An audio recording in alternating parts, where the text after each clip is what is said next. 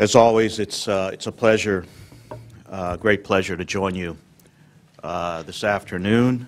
Always want to thank uh, Frank and the Center for their, um, their unwillingness to overlook our own neighborhood.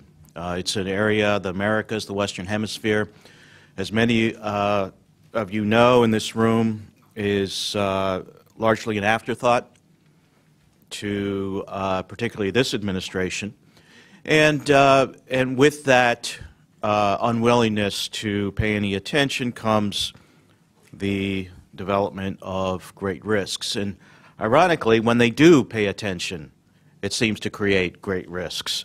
Um, and that is uh, a way to segue into, as uh, Ben said, the, uh, the issue of Cuba. I wanted to quote first to to begin my, my, my, my, my remarks by uh, quoting from an article, an op-ed that Jackson Diehl of the Washington Post wrote earlier this week on Venezuela, where he begins his article, his op-ed by saying, and I quote, an enduring characteristic of Barack Obama's presidency has been his determination to implement the ideological agenda with which he arrived in office without regard for conditions in the real world. Uh, and that one sentence really struck me as not only Venezuela, not only Cuba, but really across the world, as I probably have, uh, do not have to, to convince anybody in this room. I think that what the the, the, the, the, announcement on Cuba really puts out, lays out there in spades, is that Barack Obama is quite possibly the first president in the, in the history of the United States who really does not care what came before him and why it matters. The Cold War, the entire post-war painstakingly built with U.S. leadership, security, and economic architecture. This president simply does not care what it took, why it matters, and what it really means to who we are as a country. Now, on Cuba, the, the announcements are, uh, are really re reflect uh, a, a lot more symbolism than substantive change in policy. What he, because of the, the protracted, convoluted uh, uh, development of U.S. legislation towards Cuba, including the U.S. embargo over the last five decades, what, what the President was left with uh, it, over the last few years was some wiggle room to, to exercise his executive authority in certain areas, certain categories. After the Castro regime shot down the uh, Brothers to the Rescue uh, civilian light aircraft in 1996, the subsequent legislation that came out of that to punish the regime called uh, Libertad, uh, also branded by its opponents as uh, the Helms-Burton Act uh, in order to connote uh, uh, a certain sinister air, of course. Helms-Burton codified the embargo. Uh, what the members at that time were thinking to do was to handcuff the Clinton administration from, and as it turns out, subsequent uh, administrations from lifting the embargo without uh, Congress's assent. And conditions, of course, remain fundamental. Uh, release of political prisoners, free and fair elections, et cetera, et cetera. But back then in those days, in order to uh, uh, uh broaden as, as much as the uh, supporters of the embargo were, were, were operating at that time, they, they allowed some areas for presidential discretion. What are they? Well, they allowed the president wiggle room on what's called people-to-people -people travel, purposeful travel. In other words, distinguish that from tourism travel. You can go to Cuba as an American uh, if you have a purpose. And what we're talking about is religious travel. Um, uh, there's certain cultural activities. And what it was, the, the theory behind it was that it was trying to generate people to U.S. Uh, uh, people to people contact with Cuba in order to generate goodwill between the two the two peoples. The other uh, what also has been carved out of the embargo are some aspects of trade, uh, specifically in the areas of uh, agricultural commodities, medicines, healthcare products. So, uh, and, and, then the president also retains the authority to regulate uh, remittances uh, that flow from United States to, to, Cuba. So what he did, what he announced uh, two weeks ago or, or so was really liberalization just some more openings in those specific categories. It does not mean the lifting of the embargo. And anybody who thinks that they're going to be staying at a Hilton, uh, vacationing on a beach in Cuba uh, anytime soon is, uh, cer uh, is certainly mistaken. It's not going to happen. Congress retains the authority to lift the embargo of Cuba. Now, why should we care then? What was the big deal? Well, uh, certainly there was a lot of misinformation, a lot of misunderstanding. People thought, uh, again, people thought that they would be able to uh, book a flight uh, in a couple of months to stay at a Hilton in, in Cuba. Not the case. But for our purposes, uh, for people who, like us, follow international relations very closely, what he did do was restored normal diplomatic relations with an unrepentant, unreformed dictatorship. He got nothing, nothing. His negotiators got nothing for the restoration of diplomatic relations with Cuba. This is, has been a goal of the Castro regime for 50 years. They have wanted U.S. recognition for the legitimacy of their government. Somewhat of 10 presidents denied that, would not grant that legitimacy. Barack Obama did it for nothing on a bet that oh, if we take the United States out of the equation as a great oppressor of Cuba, then that will take the pressure off the, the Castro regime and then allow it to reform on its own without the pressure from the United States. Now, that is as ridiculous as it sounds. But that is the sole motivating uh, purpose for what he did. They also told us that, well, you know, every time we meet with the Latin Americans, they bitch about U.S. policy towards Cuba. They complain that it's, that it's just not uh, of the 21st century. It's a Cold War relic.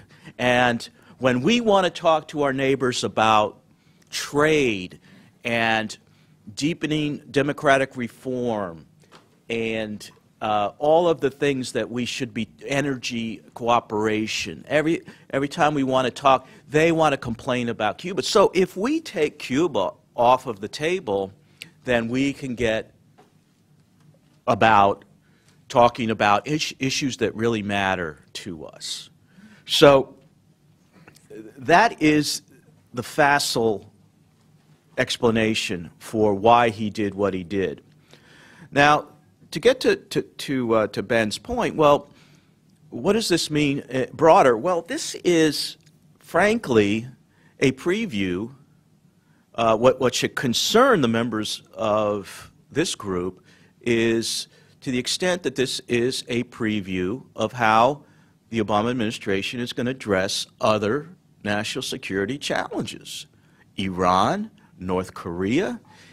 This capitulation, I, I know because I have uh, obviously followed it very closely and uh, seen how other uh, uh actors, uh, how other national security experts are reacting.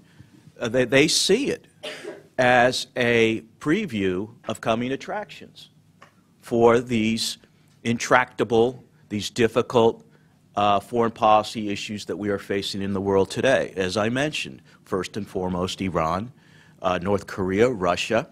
This is a capitulation. The problem with Barack Obama and his administration is that, frankly, they believe that we are the problem that the United States is the problem. And if only we humbled ourselves more, if only we reduced our profile and what we stand for, then that will create a better atmosphere for our inveterate enemies to somehow act more benignly. So that is the problem. That is the, that is the Cuba problem writ large. Now, the, uh, when, when, we, uh, when we, again, when, when we look at this issue, it is a capitulation to an unrepentant, unreformed uh, uh, dictatorship. It is a betrayal of the Cuban dissidents that are putting their safety, their security, their livelihoods on the line every day in Cuba. They almost unanimously have criticized the, uh, the Obama uh, outreach. And right now, the futility of it has already, uh, you know, it, to be fair, no one is expecting that change would have happened overnight, but we have to also recognize that things haven't really gotten off to a good start either, because two things. One, the State Department is uh, uh, speechless on what has become of 53 political prisoners that the Castro regime agreed to release as a result of this agreement. 53 have not been released. And if you, if you watch the State Department spokeswoman trying to explain why they haven't been released, it is painful, ladies and gentlemen, painful as an American to watch that, to watch a dictatorship exert that kind of uh, that kind of power over the United States government, because we they will not hold the regime to account publicly for releasing these dissidents. The second event that occurred about a week ago, less than a week ago, was a Cuban artist who decided to test the, uh, the circumstances of this new era in U.S.-Cuba relations. She uh, uh, was she hosted what she uh, I forgot what the name of it of, of it was called, but she was going to set up a mic. it, is uh, uh, Natan Sharansky's phrase about um, the public square, and she was going to set up a, a microphone in a public place in Havana and have any, any citizen come up and talk about the future of their country. Of course, she was arrested. And the uh, artistic performance was uh, canceled. And all dissidents were rounded up, threatened, and uh, otherwise intimidated not to, not to participate. So this is where we are in, in, the, in the couple of weeks since this announcement.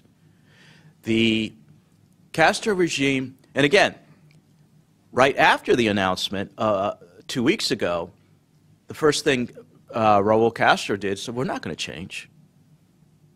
We got what we wanted. We're not going to change. We don't have to change. It was hard to argue against him uh, on that.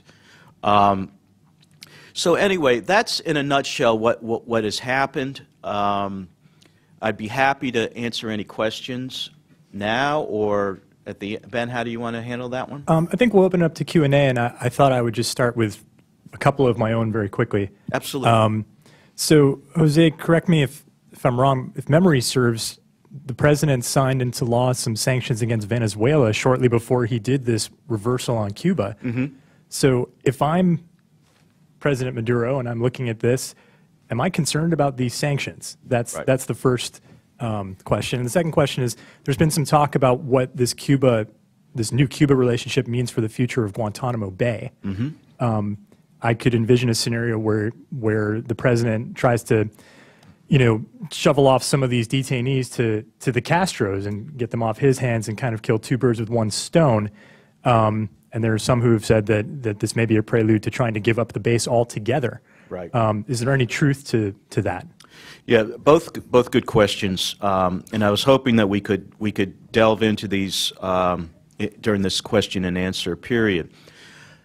I go back to what I said, that one of the mo- uh, motivating factors for the administration to uh, recognize the Castro dictatorship diplomatically was that they thought that it would remove an irritant in U.S. relations with Latin America. Well, while one hand is signing the uh, signing off on the Cuba announcement, as Ben noted, on the other hand, they're introducing new sanctions against another uh, leftist government in Latin America. That is Venezuela. What they did, what the administration did prior to the Cuba announcement was finally, they, they had been opposing these sanctions against Venezuela uh, for, for months, as, as we've been, uh, some of you have heard me speak before. All of a sudden, about a week before, a few days before the Cuba announcement, boom, the administration decided, okay, we'll sanction Venezuela. So there, there's, there's a lot of politics, uh, uh, Washington-type politics going on here. But yeah, you're really sending a, a very strong signal to Latin America about where we stand.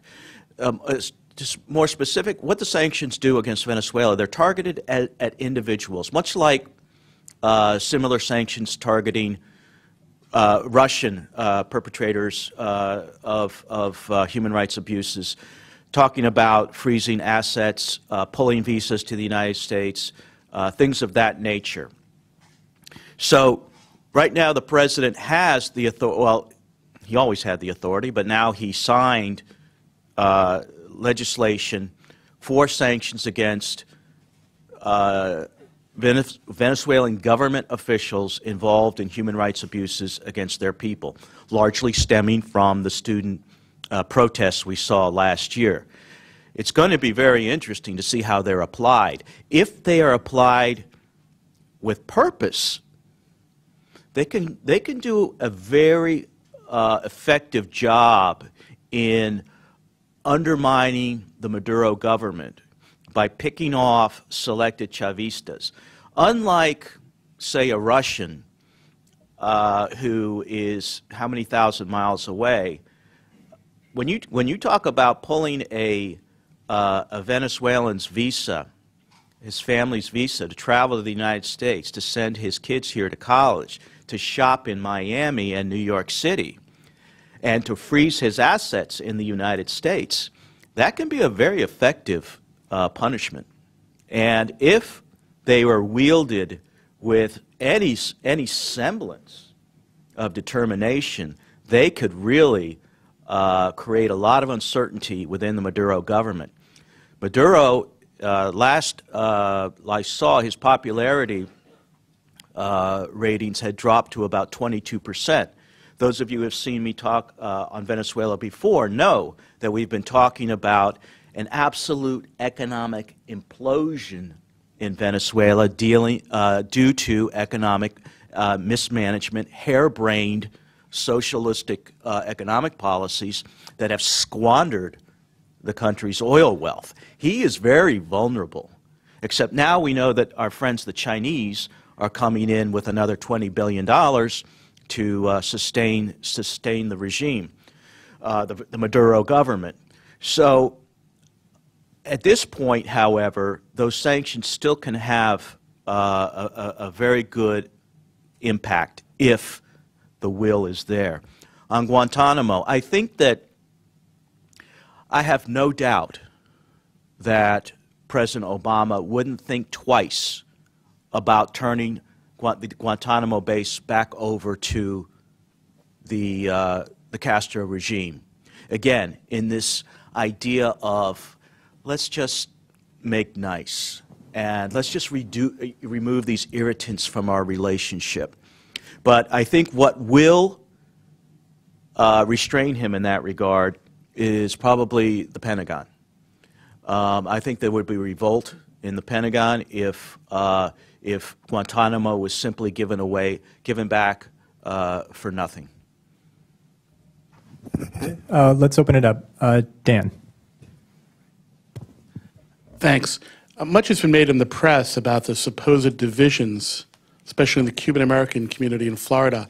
I'm interested in your take on what's going on with younger Cuban Americans and uh, just mm-hmm. how, if they do want sanctions eased, do they expect a quid pro quo for it, and do they think that if there are no results, that that'll return them to the policies of their parents? Right. It's a good question, Dan. Uh, the uh, when you look at the Cuban American community, it's really two dynamics um, that are impacting their views on Cuba. One is the uh, the youth that have been born here, assimilated. We're talking now about even third and fourth generations of Cubans, and naturally, naturally, there is going to be uh, those who do uh, who will not uh, carry on the, the, the torch, that would not, not carry on that passion.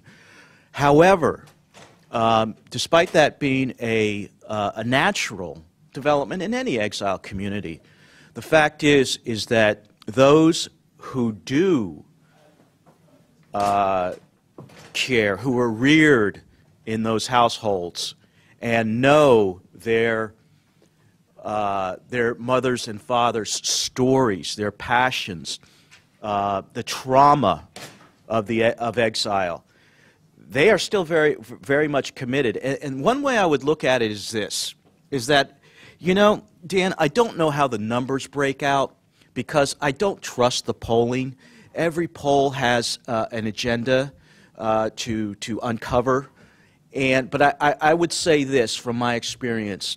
I think that when you talk about the youth, however many uh, drift away. I think that the that the, the passion and commitment of those who still care trump those who, uh, for example, those who care will turn out on election day. They will care about a candidate's views on Cuba. If a second, third, fourth generation Cuban American has drifted away, meh, you know, it, even, will they even vote? Um, that's the way it kind of happens. So those who are still willing to carry on the torch uh, dominate. Um, the other thing that undermines that, that, um, that the focus on Cuba are recent arrivals. Um, these are people that, that basically, uh, I, I, hate to uh, generalize, but to many of them have, uh, for want of a better phrase, given up. They, uh, they, they are not fans of the government. They are, but what the, what the, what the government oppression, what the propagandizing has done to them is inured them to politics. They don't care. All they care about is coming here using our, the special immigration privileges that Cubans have, and then immediately turning around and going back to help their families. Or once they get here, they're shipping uh, goods. They don't want to hear about U.S. Cuba relations. They don't want to hear about the embargo. They don't want to hear a Castro speech. They don't want to hear a speech in Miami. All they care about is just taking care of their family. They've given up that anything can change. Castro's not going to change. The U.S. is not going to change. They're just going to help grandma and, and cousins and, uh, to get along. So that's kind of a, a, a- a spotlight on, on the Cuban American community. So we're going to take two more brief questions and brief answers, and then we're going to move it along. Mario and then Fred.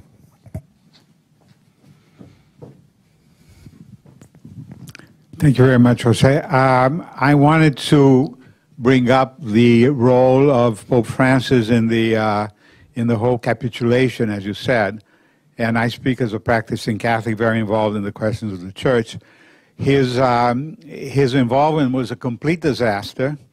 It's going to have the worst possible consequences in Latin America and in the rest of the world, and it's just a continuation of the many other things he has done with Israel, for instance, and et cetera, et cetera. I call your attention to an article that the Washington Times had two days ago by Stephen Moore of the Heritage Foundation, which was excellent regarding the global warming thing, which is another area in which he's also wrong. But, uh, uh, but Stephen Moore de- uh, deals with the whole question of his, of his being a, a leftist, which he is. So it's, uh, I think this, uh, this is a, uh, something that's not going to have good consequences, and, and I would appreciate your opinion on it. Thank you, Mario. I share your uh, profound dismay. I am also a practicing Catholic, and I, I am bewildered and I am ashamed to see the, uh, the, uh, the role that, that, the, that the Vatican played in this, that it didn't even attempt if the Obama administration didn't attempt to exact any concessions, why couldn't the Vatican lend its good offices in this endeavor based on some tangible concessions by the Cuban government? Most of the problems, and it's very difficult to speak about uh, the Cardinal Ortega, Cardinal Ortega in, in, in Cuba, because he's there. I'm here. I don't face personal threats like he does, but he has made a choice. He has made a choice to accommodate with the government and negotiate for the crumbs, the crumbs of space for the church to operate in Cuba. Fidel Castro, if, he, if he's even still alive, nobody has seen him in months the Castro regime made promises when the Pope went, Pope uh, John Paul went in 1998 that they still haven't uh, uh, fulfilled. And so the, the, the, the church in Cuba with, eh, has convinced the Vatican that uh, it's basically abdication. And they are going to uh, be content with small spaces on the church. They, they are simply going to be uh, providing, uh, you know, a band-aid to the, the needs, spiritual needs and material needs of the Cuban people. It's greatly unfortunate. Fred. As a former Senate Foreign Relations Committee staffer, I wanted to get your thoughts on the nomination of Antony Blinken to be Deputy Secretary of State and what he said about normalizing relations with Cuba during his November confirmation hearing. Well, uh, thanks, Fred. What, what he didn't say, of course, when he was being pressed by Senator Rubio, uh, was he uh, Senator Rubio was really uh, going after him.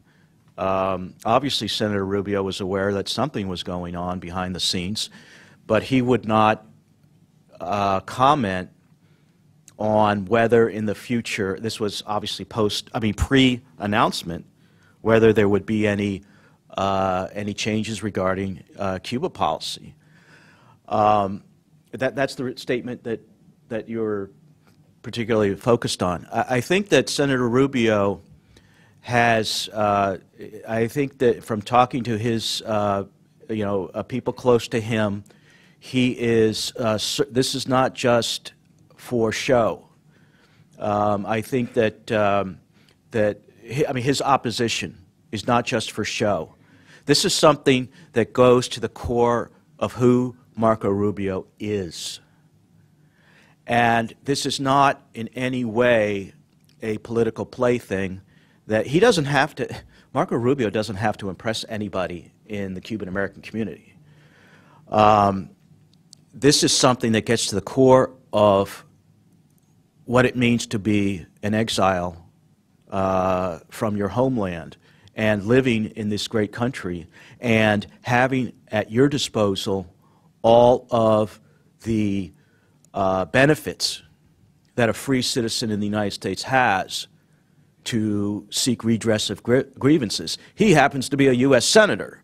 So uh, I think that, that there is going to be an effort to complicate this effort by the Obama administration every step of the way. Every tool that is at the disposal of the U.S. Congress will be employed. Now, you may say, wait a minute, maybe the, uh, the anti-Castro uh, or the pro-embargo uh, coalition in the Congress is not as strong as it used to be. You have Rand Paul out there. You have uh, ag state uh, Republicans that are going to be pressured by their, uh, their, their farm lobbies. Um, so how, uh, you know, how effective can that be? Well, a number of, of members of Congress can still be very effective without passing major legislation. You can conduct a, a, very effective guerrilla war um, regarding the, the powers of the purse, regarding the, uh, the, the powers of, uh, of uh, um, advising consent. So I would look, uh, I think it's going to be a very interesting year uh, watching how this dynamic plays out.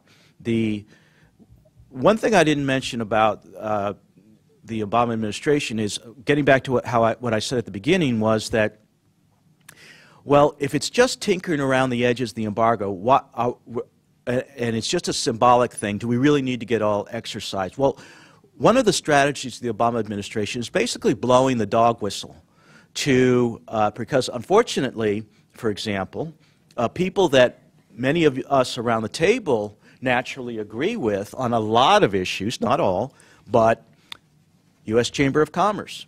Um, it's going to be behind uh, further lifting of sanctions against Cuba, and others, uh, the big ag lobbies.